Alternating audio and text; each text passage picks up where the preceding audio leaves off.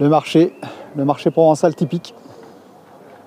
Et là, on va commencer la montée vers le château. Le marché continue, comme vous voyez, dans toutes les rues. Et comme d'habitude, euh, dans ce type de village, vous avez plein plein de petites rues. Bah, vous voyez, ce style de rue, par exemple. Petit passage secret en approche du château. Superbe. La collégiale, magnifique.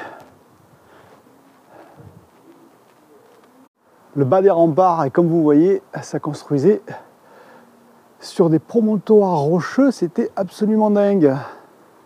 Et là, le château de Grignan.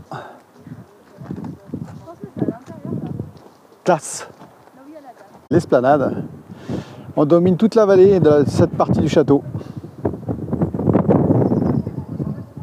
Et là, on termine par la galerie du château. Pour tout le reste, ben, je vous laisserai découvrir par vous-même.